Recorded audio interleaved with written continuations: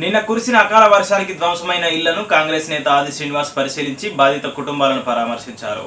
నిన్న ఎదురుగాలులతో కూడిన వర్షానికి చందుర్తి మండలంలోని జోగాపూర్ గుడిపేట గ్రామాల్లో ఇళ్ళు ధ్వంసమయ్యాయి. ప్రకృతి వైపరీత్యంతో ధ్వంసమైన ఇళ్ళ స్థలాల్లో నూతన డబుల్ బెడ్రూమ్ ఇళ్ళ నిర్మాణం యుద్ధ ప్రాతిపదికన చేపట్టాలని కాంగ్రెస్ నేత ఆది శ్రీనివాస్ డిమాండ్ చేశారు. తక్షణ సాయం కింద బాధిత కుటుంబాలకు నిత్యావసర సరుకులను ఆయన సొంత ఖర్చులతో పంపిణీ చేశారు. పంట నష్టాన్ని కూడా వెంటనే అంచనా వేసి నష్టపరిహారం చెల్లించాలని ప్రభుత్వాన్ని డిమాండ్ చేశారు.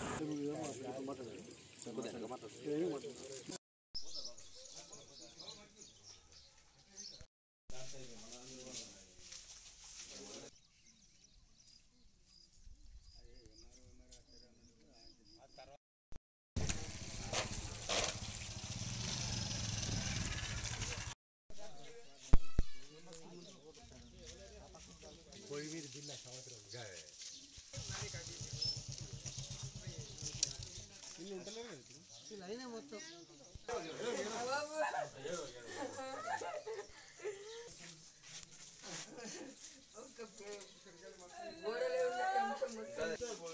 ಗಾಲಕ್ಕೆ ರೂಮ್ ಮತ್ತು ಮಗರು ತಿನ್ನೋದಿಲ್ಲ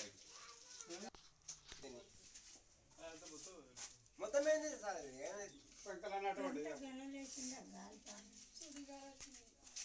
జోగాపూర్ అనుబంధ గ్రామమైనటువంటి గుడిపేట గ్రామంలో ప్రకృతి చేసినటువంటి విలయ తాండవానికి దాదాపు ఒక ఇరవై నుండి ముప్పై కుటుంబాల యొక్క ఇండ్లు పూర్తిగా ప్రకృతి వైపరీత్యానికి ధ్వంసం కాబడ్డాయి. ఇది చాలా బాధాకరం. పండగ పూట ఈ విషాద చాలంలో నిన్నటి రోజున గుడిపేట గ్రామం పండగ పూట రాత్రి వినాయకుని ఉత్సవాలు జరుపుకోవాల్సిన గ్రామాల్లో కూడా పాపం వాళ్ళ దీనగాథ స్థితి వస్తే వాళ్ళు వినాయకుని కూడా నిలుపుకోకపోవడం బాధాకరం.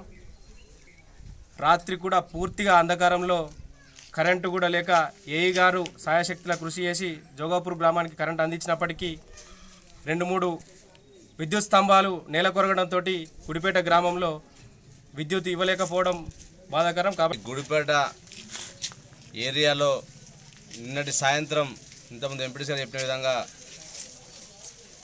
చాలా బాధాకరం చాలా దురదృష్టం. పండగ రోజు ప్రకృతి ఆ విధంగా చేస్తా అని మనం కలలో కూడా అనుకోము.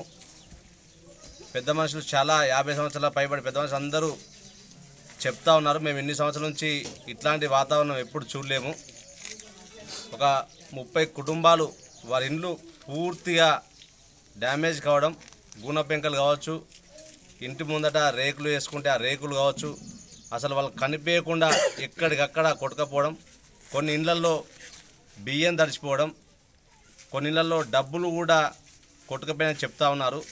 చాలా బాధాకరం. ఈ విషయాన్ని మేము ఎంపీడీసీ గారు ఉప సర్పంచ్ గారు గ్రామ శాఖ అందరం కలిసి అధ్యక్షులు కలిసి ప్రెసిడెంట్ అందరం కలిసి ఎనిమిది వందల రూపాయల క్వింటాల్ సలాకు ఉన్నటువంటి కాలంలో లక్ష ఇరవై ఐదు రూపాయలు ఇచ్చేటువంటి పరిస్థితి.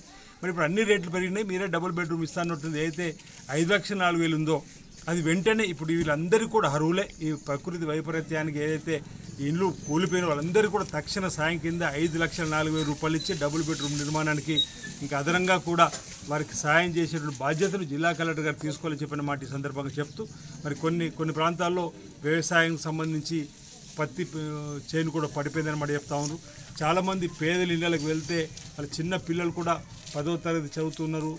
ఇంకా చిన్న వయసులో ఉన్న వాళ్ళకు కూడా వీలైతే గురుకులాలు అనేకం ఉన్నాయి కాబట్టి ఈ ఇరవై ఐదు సంబ కుటుంబాలకు సంబంధించి ఇల్లు కూలిపోయినటువంటి వారిలో పేదవారు చదువుకోవడానికి ముందుకు వచ్చేటువంటి వారు ఉంటే కూడా గురుకులాల్లో కూడా వాళ్ళకి సీట్ ఇచ్చేటువంటి కార్యక్రమాన్ని జిల్లా కలెక్టర్ గారు తీసుకోవాలని చెప్పని ప్రభుత్వం ఇలాంటి సందర్భాలలో మరి ప్రజలకు ఏదైతే బాధితులకు బాసటగా ఉండవలసినటువంటి బాధ్యత తీసుకోవాలని చెప్పని మా వైపు నుంచి మేము విజ్ఞప్తి చేస్తూ ఉన్నాం. ఈ- మేము ఈరోజు మరి అందరం కూడా ఎక్కడైతే ఇండ్లు కూలిపోయినాయో ఒక్కొక్క ఇల్లు పైకప్పులు లేచిపోయి అర కిలోమీటర్ దూరం కూడా పోయి పడ్డటువంటి సందర్భం కనిపిస్తూ ఉంది.